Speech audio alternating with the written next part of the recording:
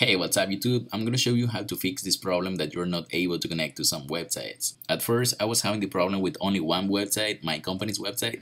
I thought that I was having problems connecting to the server only to my company's server, but then I realized that I was having the exact same problem with some other random websites. So in this case, the problem was local in my computer. I'm gonna show you how to fix this problem. It is super simple. The first thing that we're gonna do is to click on the Wi-Fi icon and then open network preferences. We're gonna select the option to turn off Wi-Fi. The next step is to unlock this little master lock that is right here. Put your password, unlocked. Then we're gonna click on advanced.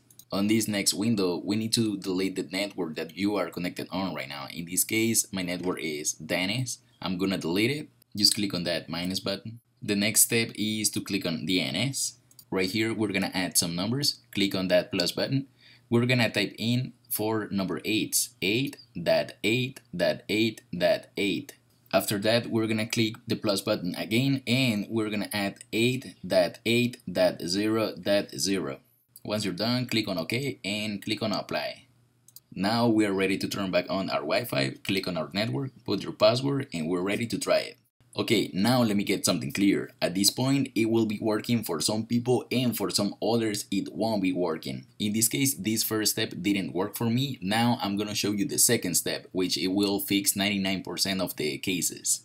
If this first step worked for you, perfect. If not, just keep watching my video. The next step is again to click on a Wi-Fi icon, open network preferences, this part is gonna sound a little scary, but don't worry, everything is under control. We're gonna delete our Wi-Fi and we're gonna put it back on again. This is to reset all of the Wi-Fi settings and we're gonna put it back to factory settings.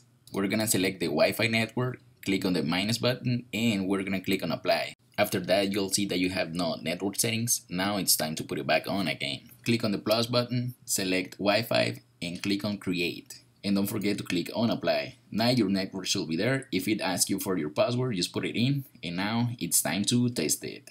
As you can see, now everything is working as normal. If this video was helpful for you, don't forget to click that like button and subscribe.